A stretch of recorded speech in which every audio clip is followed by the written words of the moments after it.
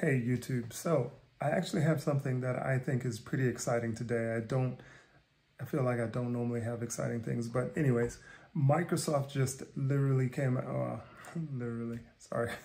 Microsoft just came out with the Microsoft Surface Laptop 4, and they're claiming that it's about 70% faster than their last generation laptop, which is a Microsoft Surface Laptop 3.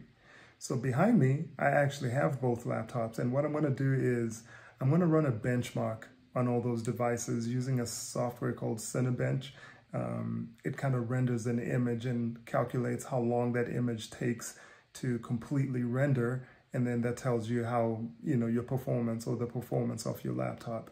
So I'm going to run that test on each of those devices to kind of find out exactly what are the stats according to the software, right? So it's actually, if you look over my shoulder, it's actually baking back there right now, or the software is already running because it takes about 30 minutes, I believe.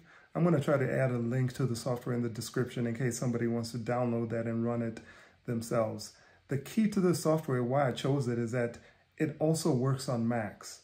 And so I actually have a surprise back there and I'm gonna turn around and show you guys right now. So what we have here is uh, Microsoft Surface Laptop or Surface Book 3, which came out last year. All right. And we've got the Microsoft Surface Laptop 3, 13 inch. We've got the Apple MacBook Pro M1. So this is the new one that started making with their own M1 chips. And I believe that's the same chip that's coming out in the new iPad. So that's exciting. And then over here, we've got the Microsoft Surface Laptop 4 and this is supposed to be the crazy fast one. So I've got the MacBook here as a comparison so we can kind of uh, look at it and say, okay, so that's fast, the Surface Laptop 4, but is it faster than an M1 MacBook Pro? So just in case somebody out there is trying to decide, do you go with the Surface? Do you go with the Apple MacBook, we're going to be able to kind of get some information on that. So it's rendering right now, or they're all rendering the same image. I kind of try to push start at the same time so um, we could kind of see which one finishes. So what I also tried or decided to do is also run this user benchmark, um, which is a slightly different tool from that Cinebench. And you can see it's still running here. Um, that is not available on the Mac, so I was not able to do it on that, but I've also run it on the Microsoft Surface Laptop 3. Uh, well, that's the 3, but I've run it on the Surface Laptop 4 and as well on the Surface Book 3. So we'll see what the results look like on those two devices.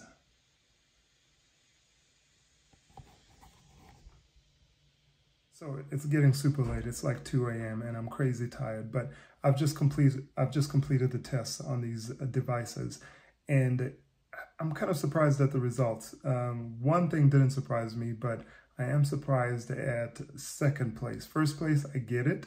Second place is kind of surprising to me. So we're going to break it down.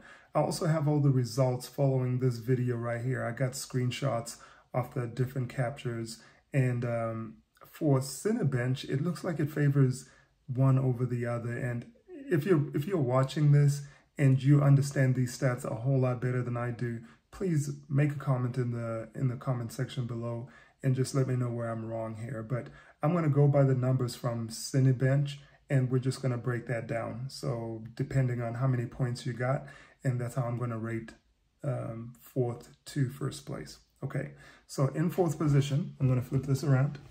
In fourth position is the Microsoft Surface Laptop 3, okay? It scored, you probably can't see this, but this scored um, 1,141 points, all right? And then in third place is to be, believe it or not, the Microsoft Surface Laptop 4, all right? I actually ran this test twice and each time it scored 2,379 and the second time 2,353. So basically more or less the same thing. So that's 2,379 versus the 1,141 for the Surface Laptop 3. Okay, so in second place is going to be the Microsoft Surface Book 3 from last year, and that scored 3,262 points. Pretty impressive. And then, of course, for first place, we've got the MacBook Pro with their M1 processor, and this was in seventh place overall and with 7,651 points. That's pretty fantastic. I uh, I have to say, I kind of knew that that would win. You know, I'm not surprised by the results on the on the Apple, but I was surprised by the Microsoft Surface Book 4. I expected that, or Surface Laptop 4, I expected that to perform a little bit better, especially compared to last year's processor or in the Surface Book 3. So, um, like I said, if you have a different opinion or you know how to look at these figures a little bit better than I do, just comment in the section below and let me know what you think about that or what your analysis is. Now, when I look at the other stats for um, um, the other software that I use, which is User Benchmark, it looks like it favors the Microsoft Surface Laptop 4 over the Microsoft Surface Book 3. So uh, help me out. Uh, look at that and uh, let me know what you decide. Anyways, I'm going to go to sleep because I'm crazy tired. I'm not even making sense anymore. Until then.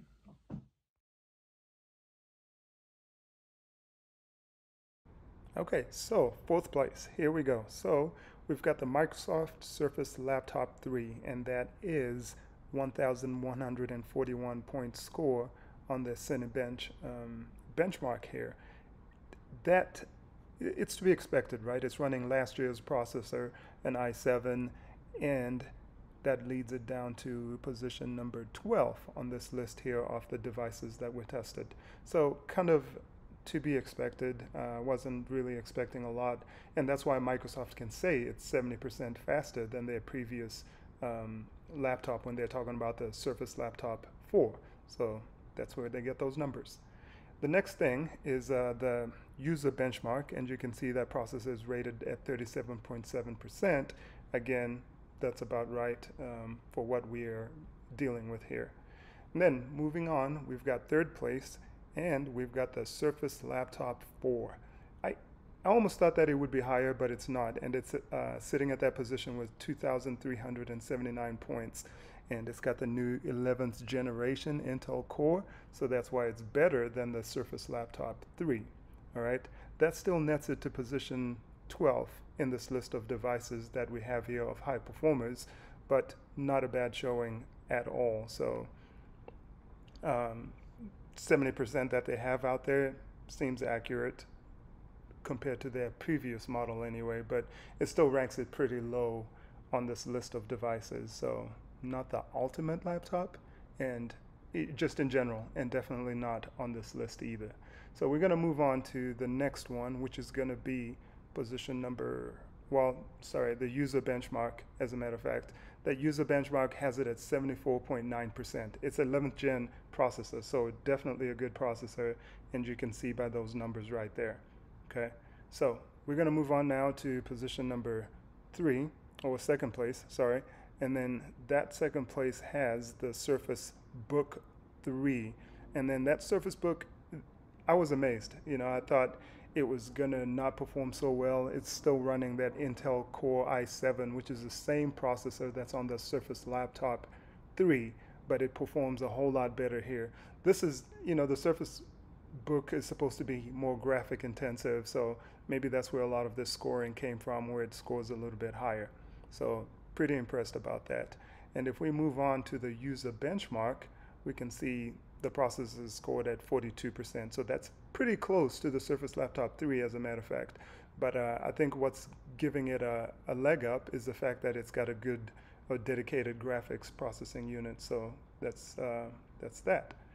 First place, no surprises here, is going to be the right. MacBook so Pro. So we've got the MacBook with, Pro uh, here with 7,633 points. points. That is pretty. That's pretty fantastic. Uh, amazing. The, and uh, if you with, look down with all its here, graphic intensity number or seven. dedicated And graphics, I actually ran the Surface test twice. still only and had uh, whenever you run it, depending on what's going on, it kind of gives This you is the first iteration each of this time, M1 you can see processor. it's not too I think, far the, like I said earlier, the versus the MacBook or the other. iPad's going to come out with the same processor. That puts it down to number seven on this MacBook list. Pro. I ran the test uh, twice. It's a little bit different. it's to be expected.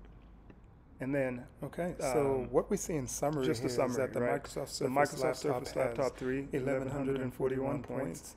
and that comes in, In fourth place, Microsoft Surface Laptop 4 has 2379 points, and that comes points. in, in third In position, third place, followed by the Surface Book with which has 3,262 points, which is not pretty a bad amazing for last year's last year's processor and that comes in second. second. And then And the Apple MacBook Apple Pro MacBook with Pro M1 7,633 points. That is 633 absolutely fantastic. Anybody that's That out there, you know, fantastic, they need a machine that runs just good, blows everything else well, outside is out going to be able to do what they want to do. off the computers that I think that's pretty amazing for So what you're going to get on it. that. And that brings us to the end.